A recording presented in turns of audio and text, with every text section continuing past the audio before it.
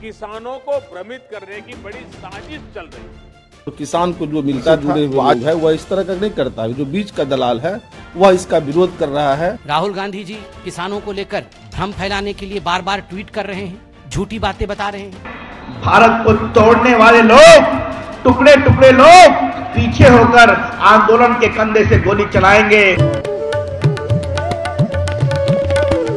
कई दिनों से देश में किसान सड़कों पर बैठे हैं। अभी तक सरकार और किसानों के बीच कोई सहमति नहीं बनी। जब से किसानों ने आंदोलन शुरू किया है, तब से कोई ना कोई सरकार का नेता और मीडिया रास्ते ढूंढ रहे हैं इसे बदनाम करने के। पर किसान शांतिपूर्वक बैठे हैं, उन पर इन बातों का असर कम ही हो रहा है।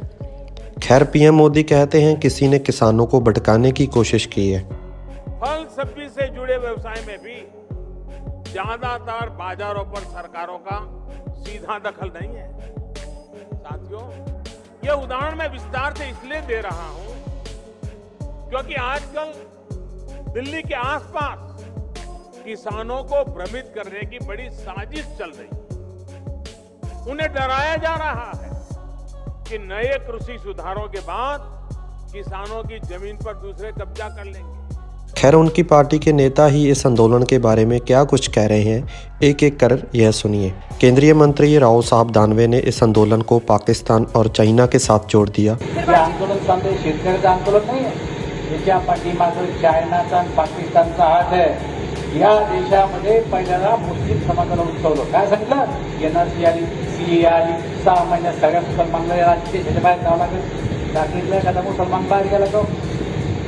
वह भारत के किसान हैं तो पाकिस्तान और चाइना का हाथ कैसे हुआ? यह तो वह ही जानते होंगे। इसके अलावा बीजेपी नेता कृष्णा कुमार का बयान सुनिए। वह कह रहे हैं कि ये किसान नहीं, दलाल हैं, जो आंदोलन कर रहे हैं। तो किसान को जो मिलता आज है, वह इस तरह का नहीं करता है। जो बीच का दलाल है, वह इसका विरोध कर रहा है कि मोदी सरकार ने किसान के जो बिल आया है, वह किसान विरोधी है, किसान को नहीं चिंतक है। लेकिन मैं दावे के साथ कर सकता हूँ, दो सौ परसेंट कि यह बिल किसान के हित में है किसान के लाभ के हित में है। बीजेपी नेता संबित पात्रा किसानों के आंदोलन के पीछे विपक्ष की साजिश बता रहे हैं और भी काफ़ी कुछ कहते दिखाई दे रहे हैं। राहुल गांधी जी किसानों को लेकर भ्रम फैलाने के लिए बार बार ट्वीट कर रहे हैं झूठी बातें बता रहे हैं। राहुल जी कितना समझते हैं किसानी? हाँ माना उनके जीजा जी किसान है मगर वो कितना समझते हैं किसानी? ये अंदर की बात है मैं आज आपको बता रहा हूँ। जब उनसे पहली बार बताया गया कि रबी चला रबी का खरीफ का क्रॉप हो गया है रबी आने वाला है।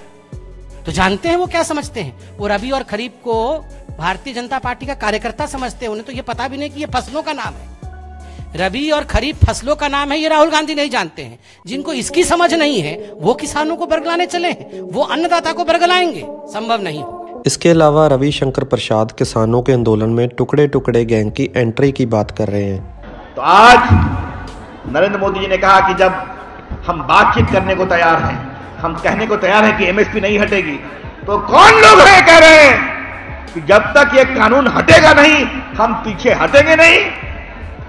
तो हम भी कहना चाहेंगे बड़े आदर के साथ, भारत सरकार किसानों का बहुत सम्मान करती है। नरेंद्र मोदी जी किसानों का बहुत सम्मान करते हैं। और देश के किसान भी मोदी जी का बहुत सम्मान करते हैं। हर जगह हम जीत रहे हैं। लेकिन अगर किसानों के आंदोलन के आड़ में भारत को तोड़ने वाले लोग टुकड़े टुकड़े लोग पीछे होकर आंदोलन के कंधे से गोली चलाएँगे तो उनके खिलाफ बहुत सख्त कार्रवाई भी की जाएगी, ये भी हम बहुत साफ़ साफ़ कहना चाहते हैं। इस पर हम कोई समझौता नहीं करेंगे। क्या मतलब है? आखिर ये टुकड़े टुकड़े गैंग क्या है और कौन है? जब वह सरकार से जवाब मांगा गया, तब एक आरटीआई का जवाब देते हुए मंत्रालय ने यह जवाब दिया कि केंद्रीय गृह मंत्रालय के पास ऐसी कोई भी जानकारी नहीं है जो देश में टुकड़े टुकड़े गैंग की परिभाषा को बता दे। जब सरकार को ही नहीं पता तो ऐसे शब्दों को किस के लिए इस्तेमाल कर रहे हैं? क्या किसानों के लिए? राहुल गांधी ने सरकार पर निशाना साधते ट्वीट किया, लिखा For Modi government, dissenting students are anti-nationals, concerned citizens are urban Naxals, migrant laborers are COVID carriers, Rape victims are nobody, protesting farmers are Khalistani and crony capitalists are best friends. तो किसानों को भटका कौन रहा है यह तो पीएम मोदी ही बता सकते हैं पर बदनाम कौन कर रहा है यह तो हमने कुछ वीडियो तो दिखा ही दिए आगे देखते हैं सरकार की मंशा क्या होने वाली है इन आंदोलन और कृषि बिलों को लेकर Punjab today TV If you like our channel, please subscribe and to get notifications about news, please click the bell icon.